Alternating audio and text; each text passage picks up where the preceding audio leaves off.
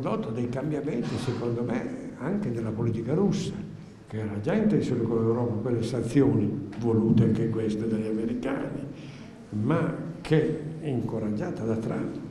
è diventata molto più attiva all'interno della politica europea, cioè vedere Putin che riceve la Le Pen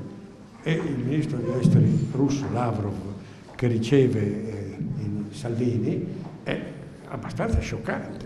soprattutto nella vita mia, non ho mai visto Lavrov senza la, senza la cravatta, solo quando ha abbracciato Salvini si è tolto la cravatta.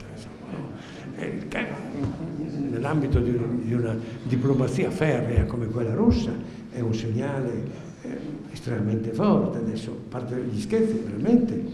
diventa un, un discorso eh, di, eh, di attacco diretto o indiretto all'Europa che prima non c'era, che prima non c'era. La reazione